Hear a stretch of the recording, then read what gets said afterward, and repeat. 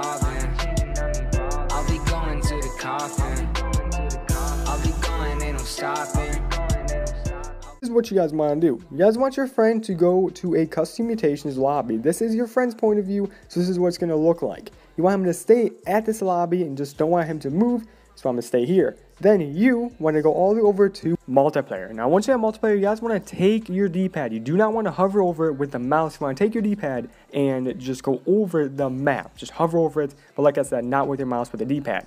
Then after that, you guys want to go and press triangle or whichever button it is to pull up the social. Then after that, you guys want to find your friend that's in the custom mutations and you want to join him. Now this next part is very important, so make sure to listen carefully. Now what you guys want to do when you join, you guys want to press the join button at once. You do not, and I repeat, you do not want to spam it because that will make it 10 times harder. You just want to press it once. So I'm going to press X because I'm on PS4. I'm just going to press that once. As you guys see, I join him, I pressed it once, and I did not spam. And when I join him, you'll see that nothing is highlighted on your screen.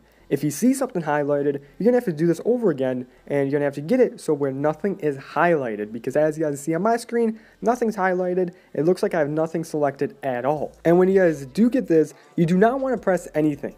And now what you guys going to be doing is you guys going to be doing some timing.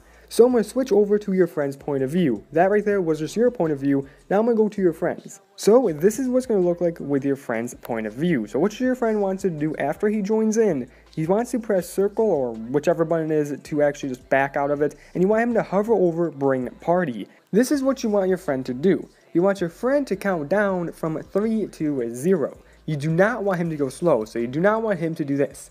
3, 2, 1, 0. That's very slow. You do not want him to do that. What you guys want him to do is you guys want him to count down fast. So we want him to count down like this. 3, 2, 1, 0. That's exactly how you guys want him to count down. And when your friend says a 1, you want your friend to press X to bring a party. And when your friend says 0, you want to press X. So definitely make sure to listen to that very carefully. Now I'm going to show you guys what I'm talking about. So your friend should be counting down from 3, 2, 1, 0 very fastly. So 3, 2, 1, 0. When he hits 1, he should be pressing X to bring party. And then you should be pressing X at 0 just to put up the screen because when it's not highlighted, if you press X, it will bring up the screen. So when you say 3210, he's to be pressing X to bring party, you're to be pressing X to bring up the screen. And if you do properly with the right timing, you should get it. And after you do that, you want your friend to simply just select a map. He's to be in charge of which map you go to. So if you want to go to IX, have him pick IX. If you want to go classified, have him pick classified. Then you want him to go to a private match. And after your friend goes to a private match,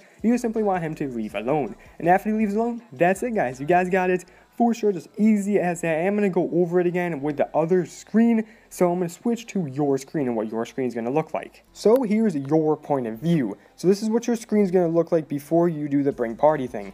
So what you guys want your friends to do, like I said before, you want your friends to do 3, 2, 1, and after he says 3, 2, 1, again, it has to be fast. When he says 1, he wants to press X to bring party, and then when he says 0, you want to press X to just bring up the rules which I'm going to be doing that in a few. You guys will see that. Definitely not nearly as hard. It might seem kind of hard or like sound hard, but trust me guys, it's not hard. I got it very fast. So here we go guys, we're doing it right about now. So as guys can see, we got it because we timed it perfectly and what you guys want to do next is have your friend just bring into a private match. Again, like I said before, he picks the map, well I'm going to pick the map, we want to pick the difficulty. After that, he just wants to leave alone. And you want him to leave alone when he's in that private match. So once he leaves alone, you should see that you can add the rules and you guys can do whatever you want. You don't really want to change the map because even if you change the map, it's going to go to the map that your friend selected so you'll be good with that. So let's go to your rules, edit your rules, and all that good stuff. So definitely a whole lot of an easier method. And when you guys are done with the rules, just simply back out. And when your friend leaves alone,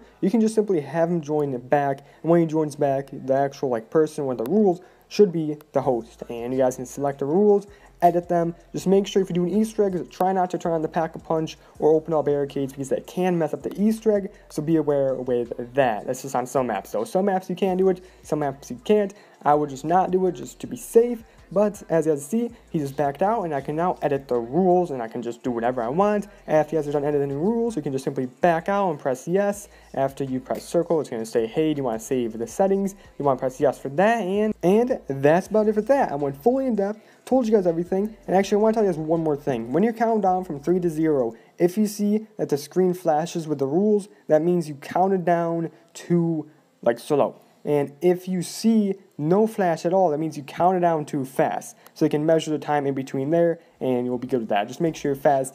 Like I said, not hard. You should be able to get it. That's about it for this video.